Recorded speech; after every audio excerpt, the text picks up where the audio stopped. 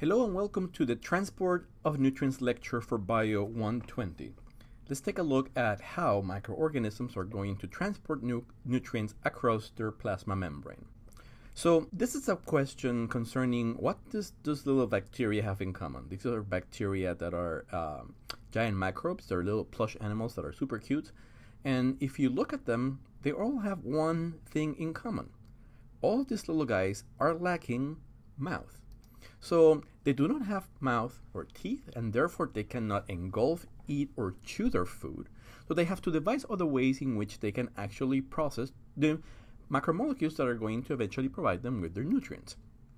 Now, so the topics of this lecture are going to be the role of cytoplasmic and outer membranes in nutrient uptake, how passive and facilitated diffusion works, and what is active transport. So some of you already have taken Bio 110 and you have covered this in particular detail, but what we're going to also be taking a moment is to look at how this specifically happens in prokaryotes, since you already are quite familiar with the eukaryotes.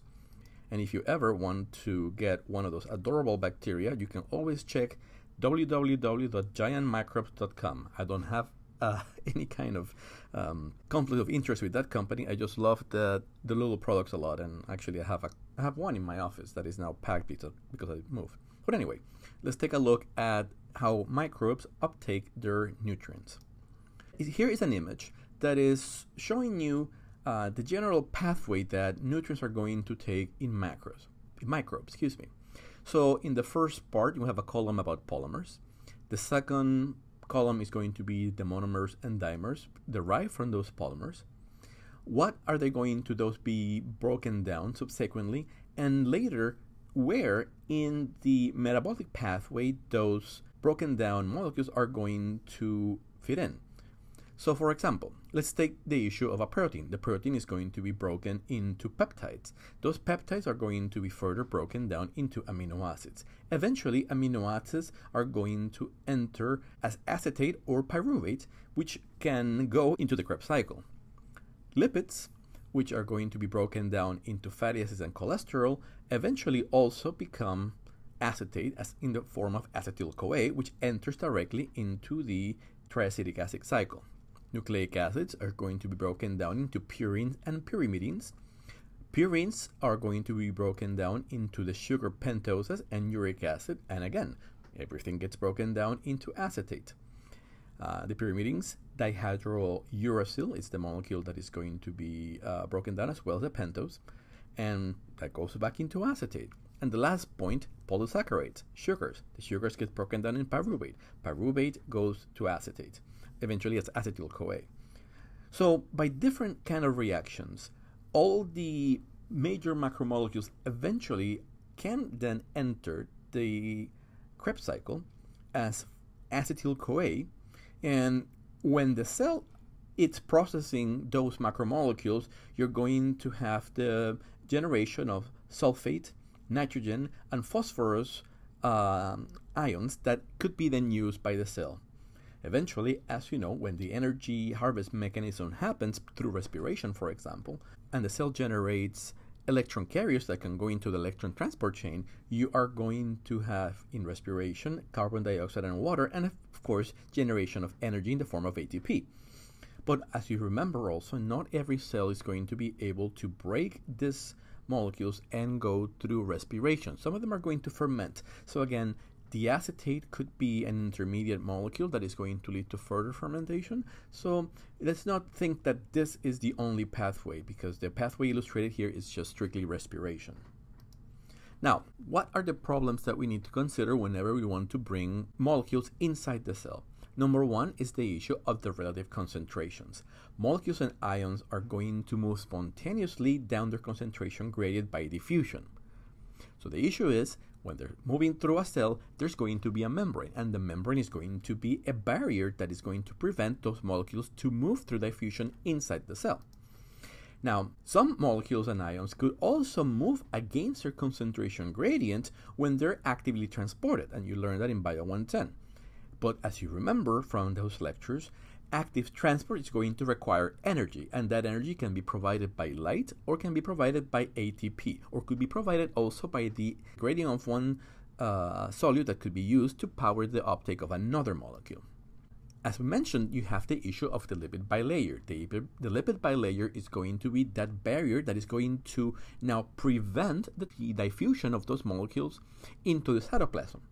And the bilayer is impermeable to most of the molecules that the cell needs, especially the essential molecules and the ions.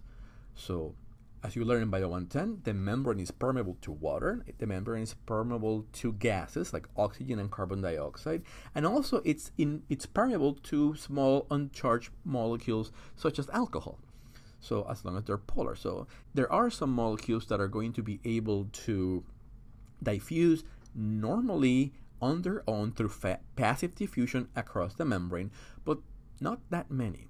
The other molecules like ions and essential molecules which are charged or are very polar may pass through the membrane by diffusion, but it takes a very long time and the number of molecules passing is going to be incompatible with life.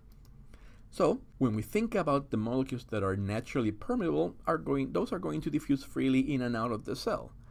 Think about oxygen coming inside the cell. The cell uses it for respiration. If it's respiratory, out comes carbon dioxide as a product of respiration. So that there is no active transport. There is no mechanism to transport those molecules out of in and out of the cell. It just happens by free diffusion. Now, diffusion of water, as you know, through the plasma membrane is extremely important to maintain the cell physiology, and we name that osmosis. And it can be the uh, event that can change the life of a cell if the cell is not able to control or have ways to manage the way that water is freely diffusing inside of it. Because if too much diffuse inside of it the cell can burst. If too much diffuse outside of the cell the cell will dehydrate and die. So let's look at the functions of the cytoplasmic membrane as we know it. We talk about the fact that the membrane is going to be a permeability barrier so it's going to prevent leakage of molecules out of the cell or prevent molecules from coming inside of the cell.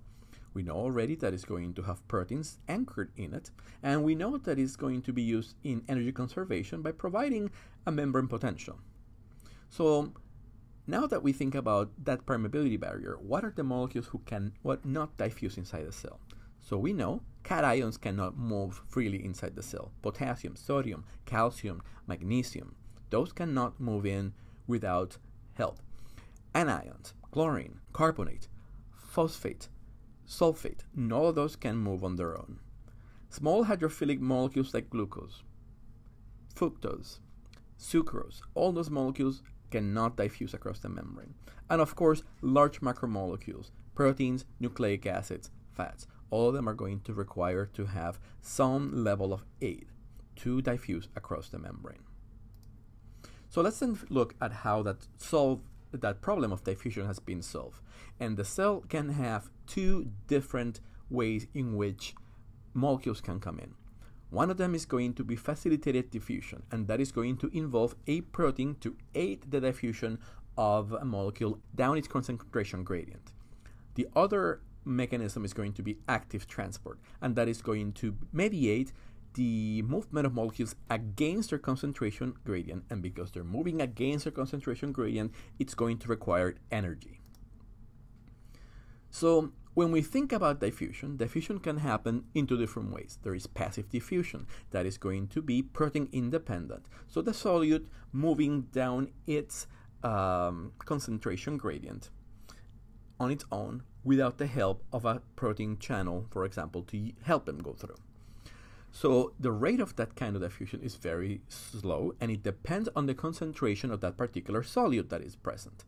So if the solute is present at high concentration, passive diffusion happens faster. Now, as you know, passive diffusion is limited to small uncharged or hydrophobic molecules. Think about an alcohol molecule, think about oxygen.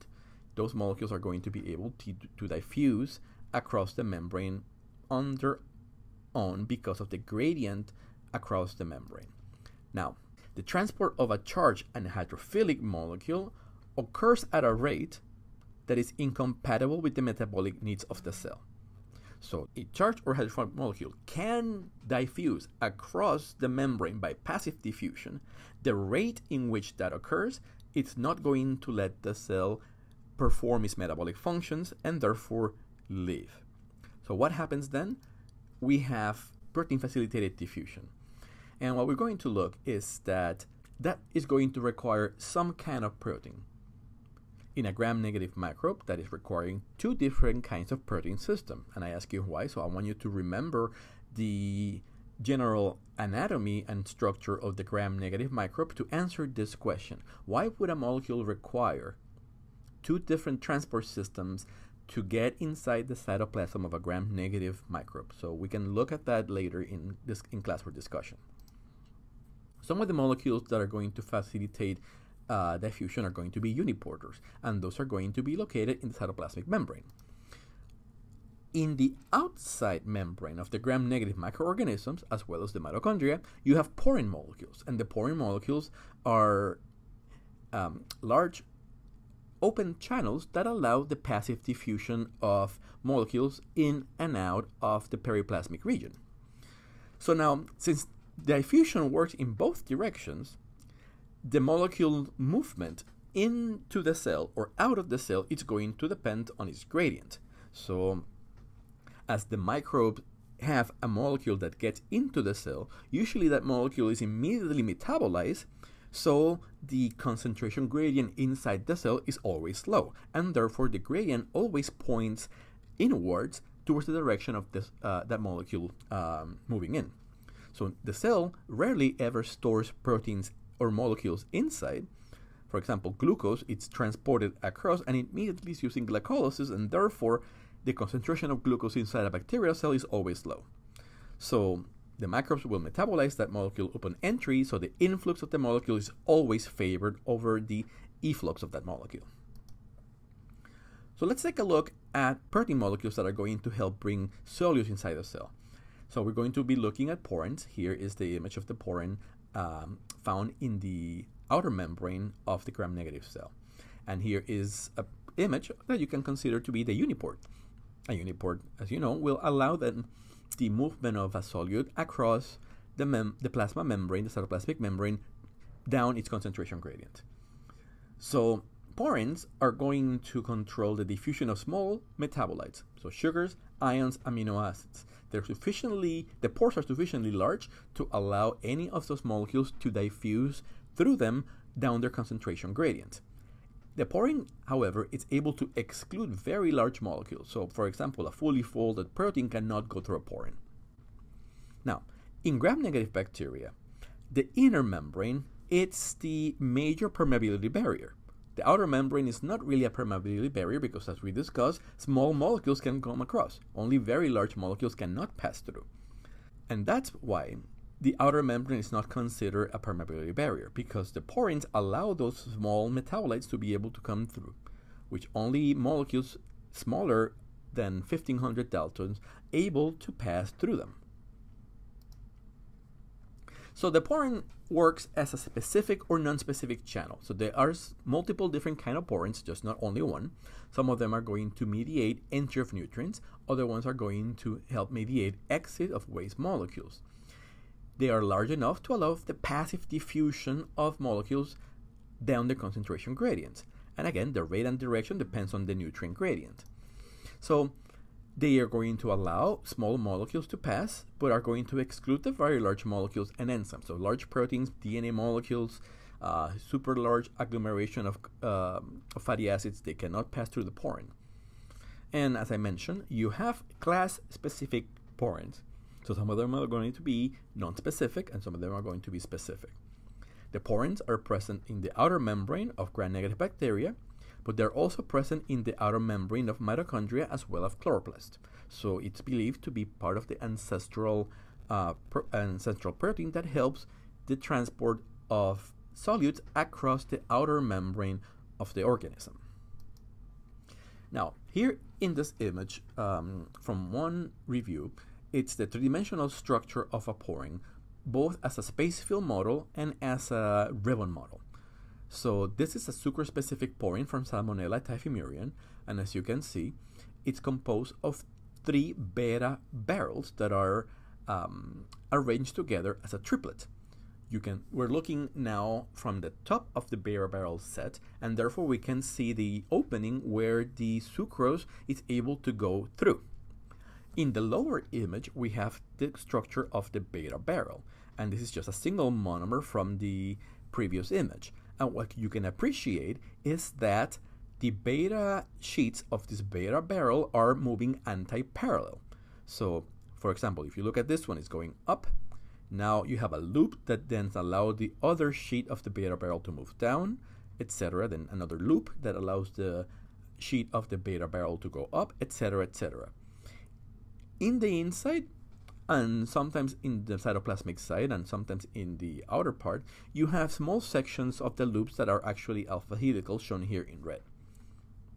Now, as you know, we mentioned the porins are made of beta barrels, which are linked together by beta turns in the cytoplasmic membrane.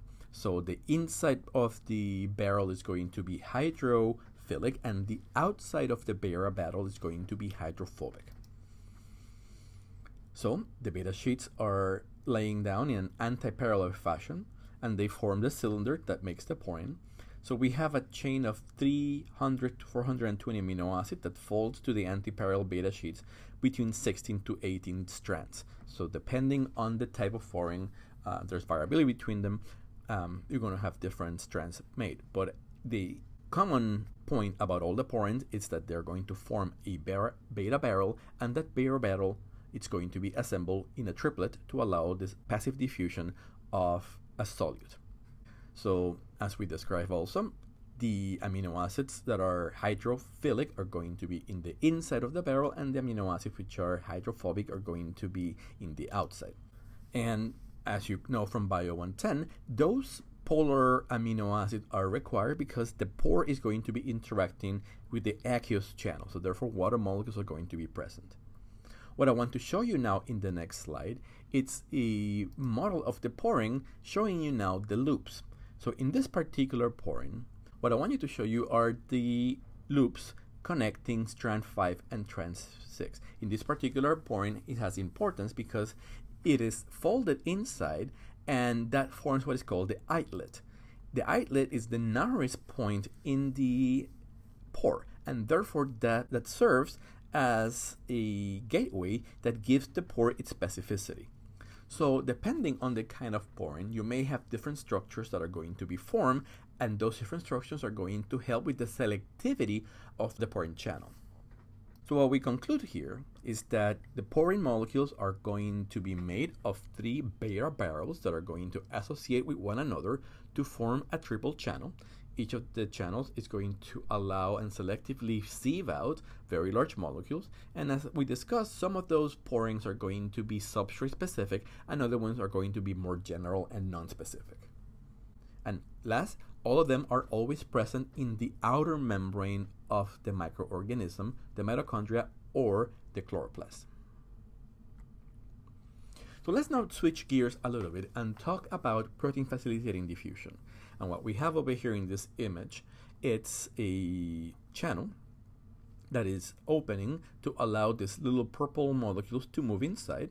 Those molecules are at a much higher concentration in the periplasmic region and much lower concentration in the cytoplasm. And therefore, when the protein opens up, that molecule is able to cross the membrane uh, specifically and move down its concentration gradient. So what do we see when we look at facilitated diffusion by uniporters? Uniporters are usually substrate specific. There's one uniporter, for example, for protons or for sodium or for any other molecule.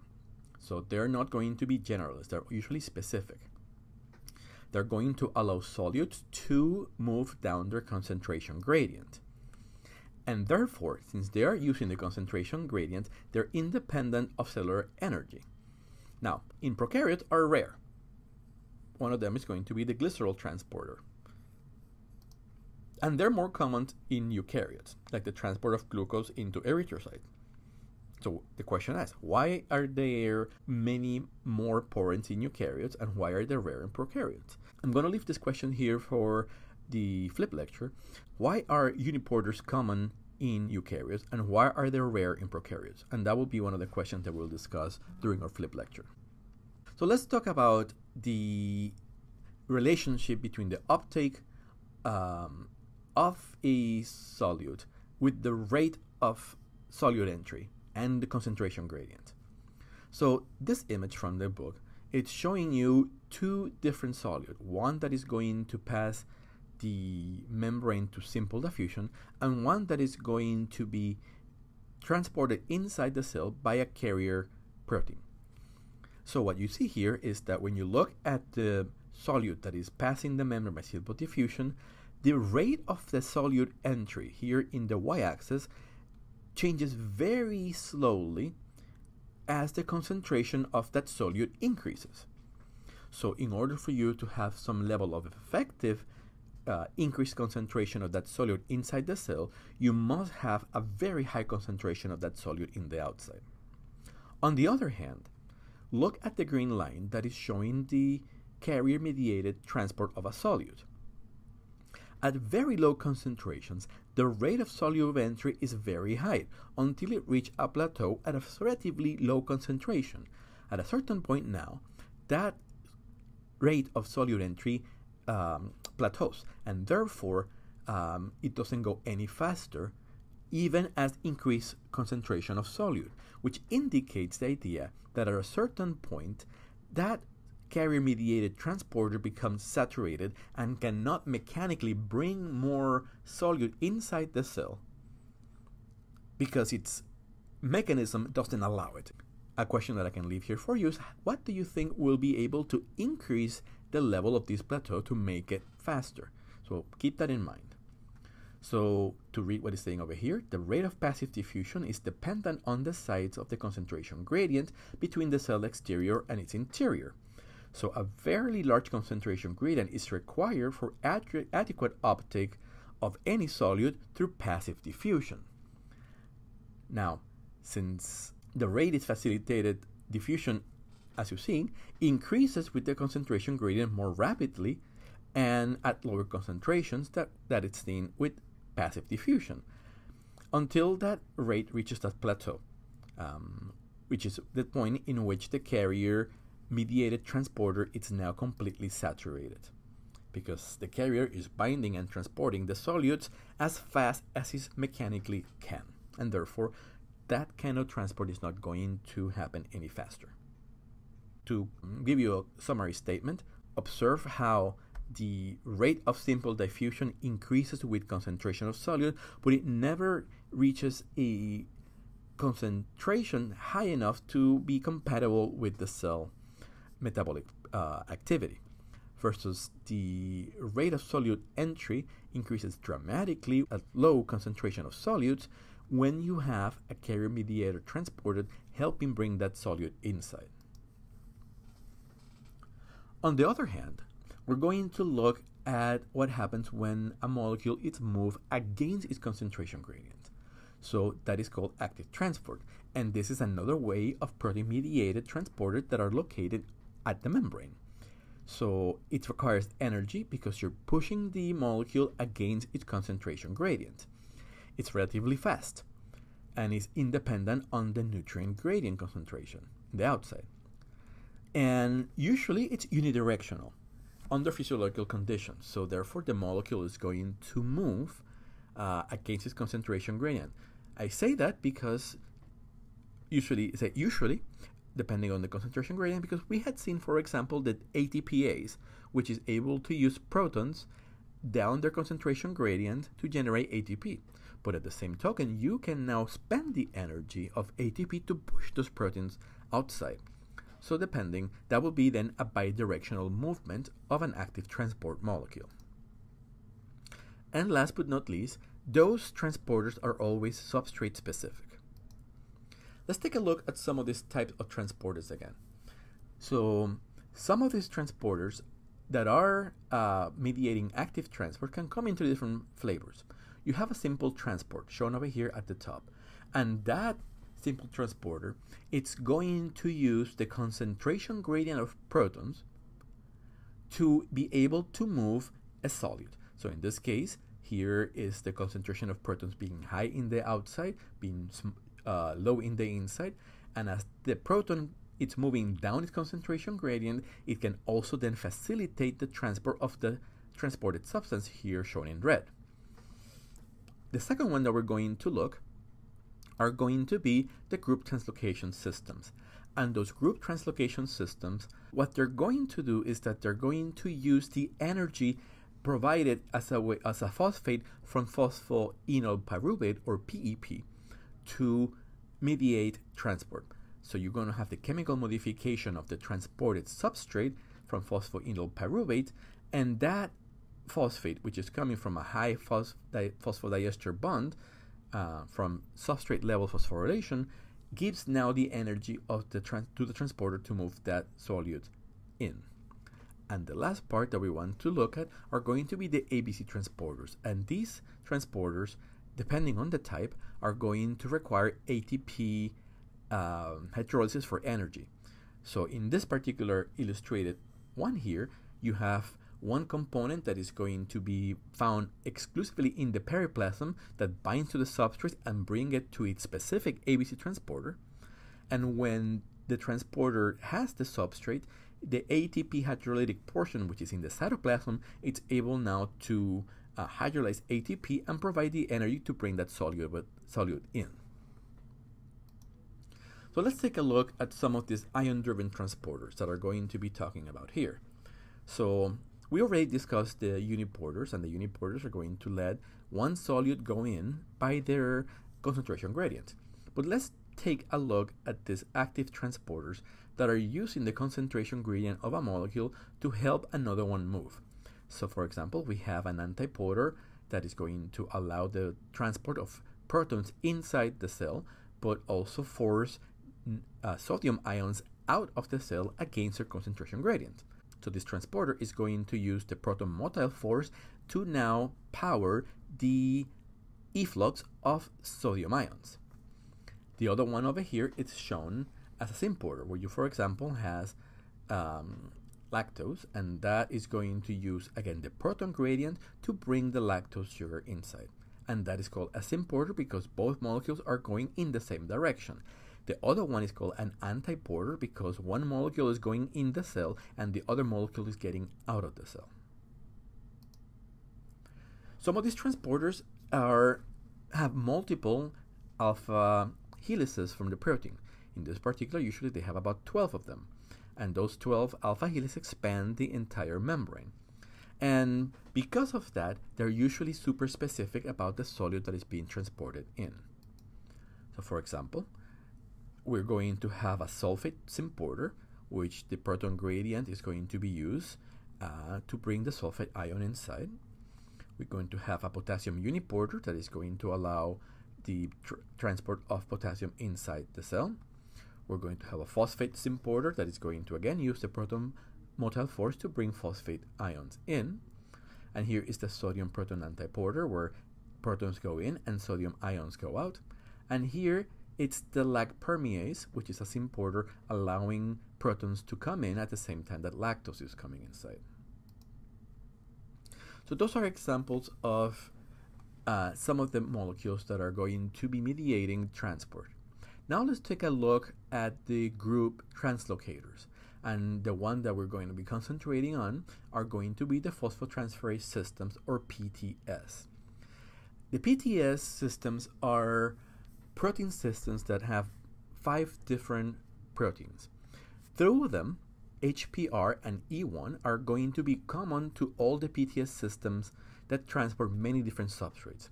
Now, protein E2A, E2B, and E2C are going to be proteins that are specific for one substrate. For example, the E2A, B, and C from glucose cannot be used to bring maltose, but the HPR and E1 can bind to both glucose as well as maltose PTS systems. So the substrate is modified as it's going in, and usually the modification is going to be phosphorylation. That it's going to now, for example, in the case of glucose, immediately, immediately convert glucose into glucose 6-phosphate when it is transported. And glucose 6-phosphate is now impermeable and cannot get out of the cell. Therefore, it provides a one-way concentration gradient of glucose, and because now glucose has been phosphorylated to glucose 6-phosphate, it is immediately brought inside glycolysis. The energy that is going to be used to bring that molecule in is come from phosphoenol pyruvate, PEP. And phosphoenol pyruvate, it is a um, molecule that is part of glycolysis. And we're going to take a look, that, look at that in a moment. So for example, you have PTS systems in E. coli that can transport glucose, fructose, and mannose, and all those three have the common HPR and E1 subunits, but specific E2A, E2B, and E2C units. So this image from a Nature Review of Microbiology from 2008, it's showing you the typical type of the uh, phosphorelay that is going to happen during the PTS system. So PTS systems are distributed among many different kind of prokaryotes, and usually they transport carbohydrate inside, like the glucose, lactose, fructose, mannitose, sucrose, and other sugars in E. coli. So let's begin by the point in which glycolysis provide phosphoenol pyruvate. This is the point, um, is one of the last steps in glycolysis, and during normal glycolysis, phosphoenol pyruvate will donate its phosphate to ADP to generate an ATP and pyruvate. But in this case, the energy hardness in that phosphate bond in phosphoenol pyruvate will be given to the protein E1. So phosphoenol pyruvate will donate its phosphate to protein E1, generating a phosphorylated E1 intermediate and a pyruvate molecule. That phosphorylated E1 intermediate is now able to pass that phosphate as a relay to HPR generating a phosphorylated HPR and then recycling the E1 molecule that can now receive another phosphate from another phosphoenol pyruvate. At the end, the HPR protein that has been phosphorylated can pass its phosphate to the E2A subunit of the transporter. And by a different array system, the A subunit that is phosphorylated can pass that phosphate to the B unit, and eventually to the C, and when, for example, glucose is transported across the C subunit, it can now get phosphorylated to produce glucose 6-phosphate, and that will then be used in the first step of glycolysis.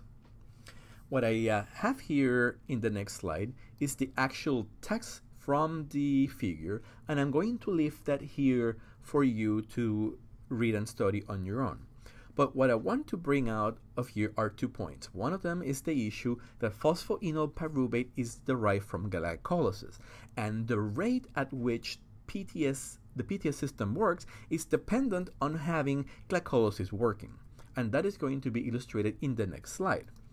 So this next slide came from the Journal of Microbi Microbiology and Molecular Biology Reviews, and it is showing the transport of a sugar across the PTS system um, and how that is related through glycolysis. So as you know, the carbohydrate transport and phosphorylation by the PTS system is going to be coupled to glycolysis. Why? Because during glycolysis, phosphoenol pyruvate shown here in this box, it's going to be a substrate. It's going to be one of the intermediates. And as shown over here, during normal circumstances, it's able to generate ATP and pyruvate. But in this case, we're going to have it used differently. Phosphoenol pyruvate is going to donate its phosphate to the E1 molecule. The E1 molecule gets phosphorylated. It donates its phosphate to the HPR molecule, which is now phosphorylated. The HPR molecule uh, donated to the E2A. In this particular image, the E2A is not shown to be part of the membrane, but you know that it's part it's peripherally attached to the membrane as I showed you in the previous slide. That's why I always want you to be critical about the images that you see um, because they can oftentimes show different, um, can give you the idea that they're different. And at the end, going back to the discussion, E2A phosphorylated is able to give its phosphate to E2B and E2B to the sugar that is coming in. But now you have glucose 6 phosphate, if it were to be glucose, and glucose 6 phosphate jumps immediately into glycolysis to become fructose 6 phosphate, which eventually becomes fructose 1 6 bisphosphate, which gets converted to glyceraldehyde 3 phosphate, two of those molecules, then 1 3 bisphosphoglycerate, 3 phosphoglycerate, and 2 p uh, phosphoglycerate, which eventually becomes phosphoenol pyruvate again. So, the carbohydrates are transported and concomitantly phosphorylated by the PTS system. That phosphorylated carbohydrate feeds into glycolysis if it is glucose or fructose 6 phosphate, because fructose is also going to be now transported across the system and it just jumps into the step of the fructose 6 phosphate step. And at the end, because you have the fructose 1,6 bisphosphate broken down into two glyceraldehyde 3-phosphate, you end up with two phosphoenol pyruvates. Those two phosphoenol pyruvate molecules are usually formed by glycolysis, but one of them now is going to be used to give energy to the transport system, and the other one could come down to produce an ATP. So instead of having the two ATP molecules that you normally will generate through glycolysis at that step, you only have one. Or you may not have any because both phosphoenol pyruvate molecules could be used to transport the process, uh, to fuel the energy, to energize the transfer of glucose. So you have to be mindful of that particular point.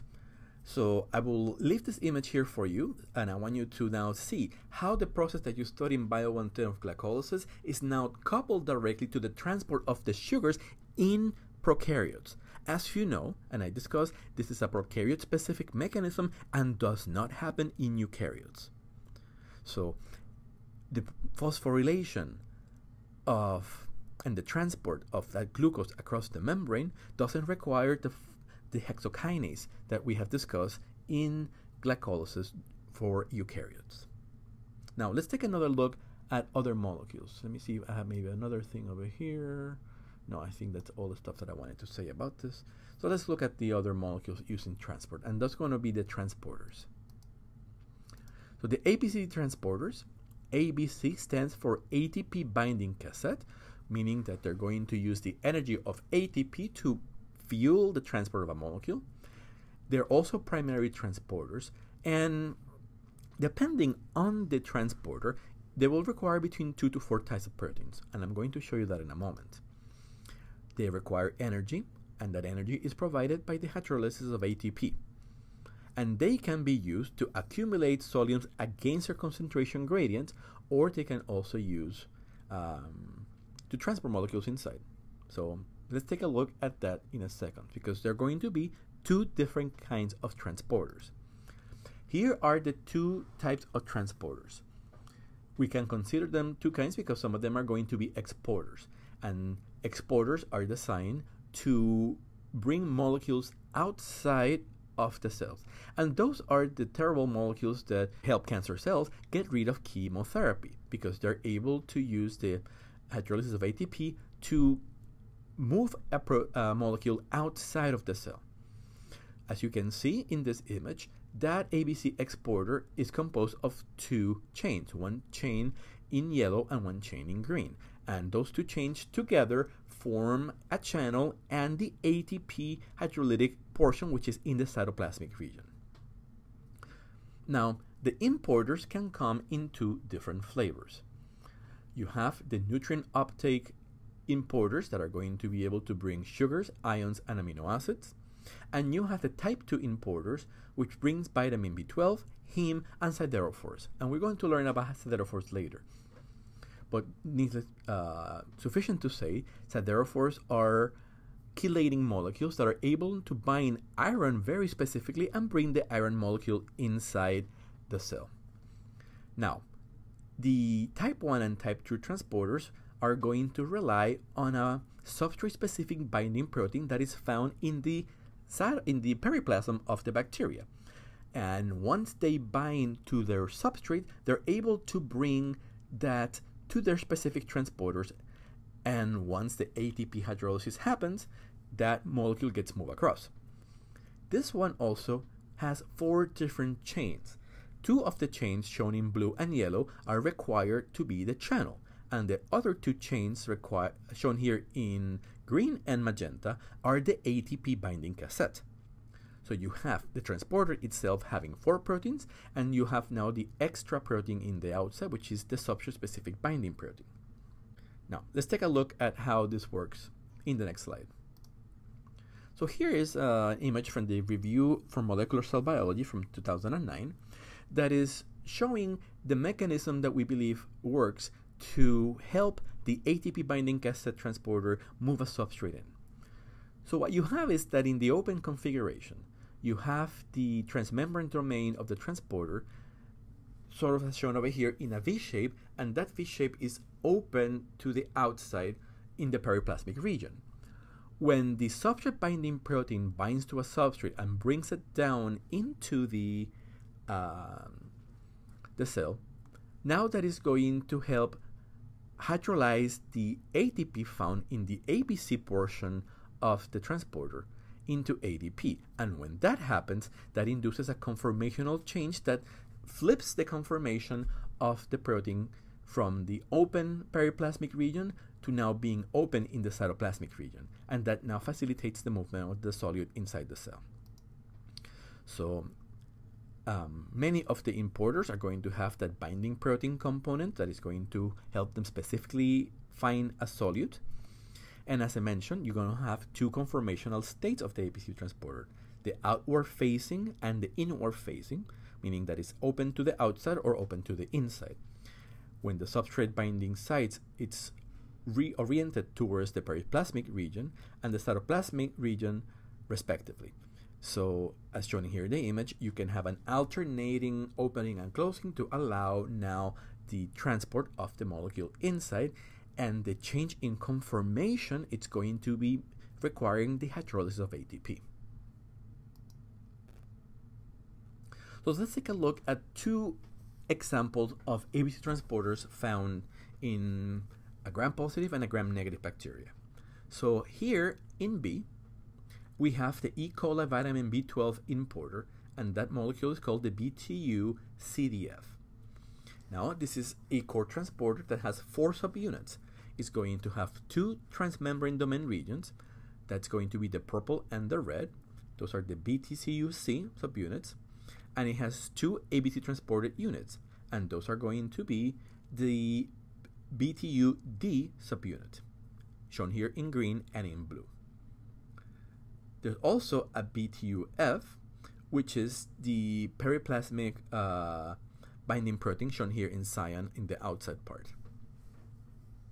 So, in order for this transporter to bring vitamin B12 to work, the binding protein will bind to vitamin B12, bring it to the transporter, and when that binding protein brings the solute to the transporter, ATP is hydrolyzed and therefore the transporter can now undergo a conformational change that is going to allow for the movement of vitamin B12 inside the cell. The other transporter that I want to talk to you is the one found in Staph aureus, which is called SAV 1866, and that is a multi-drug exporter. So Staph 1866 has only two subunits, the subunit uh, in green and the subunit in blue. And those two have a combined fuse transmembrane domain region and the ABC domain. So the ABC domain is shown here at the bottom as these globular regions that bind to ATP. So whenever a drug, like an um, like a antibiotic, needs to be exported by this bacteria, it will bring it to the ABC transporter. ATP will be hydrolyzed, and that will then efflux that drug outside of the Staphylococcus aureus. This is one of the reasons why Staph aureus have become resistant to many drugs that we use because they have the capacity to pump that drug out of the cell. So let's take a little moment to look at the periplasmic substrate binding proteins. As I mentioned, they are specific to one substrate and also specific with their cognate membrane transporter. So they are not a general family of proteins that can bind to any transporter. They only have one transporter that they bind. They're going to release their substrate to the transporter and then be able to bind to more substrates when they're free. They usually have very high affinity for substrate between 0.1 and 1 micromolar Kd. And they're always located in the periplasmic region of gram-negative bacteria. In the, the periplasmic region of gram-positive bacteria, they could actually diffuse out, and that's why they're tethered to the membrane, so they're able to diffuse laterally across the outer membrane of the gram-positive bacteria, but not diffuse away through the peptidoglycan layer. So how many transporters are present in E. coli? Well, we believe that you have about 150 different transporters in E. coli. E. coli has 4,200 genes in this, its genome, and of those, about 7%, 300, are devoted to transport. So, nutrient uptake, elimination of waste products, and maintaining the correct levels of ions that are going to help it regulate its metabolism. And as I mentioned to you, many of these proteins are only made when needed. So, the regulation of gene expression for those molecules it's very tightly regulated and only made when there are in need so only when the substrate is present. You have learned a little bit about that before when looking at the lactose operon that only the proteins required to metabolize lactose are made when lactose is present when glucose is the sugar used for um, energy those proteins for the lactose operons are not made, and therefore the permease, which is required to bring lactose in, is not made in the absence of lactose. That's one good example for you. Well, with that, I'll finish the lecture and I'll post that up today and be able to see you on Thursday. Hoping that you're having a good day and that you had a good exam. Bye bye.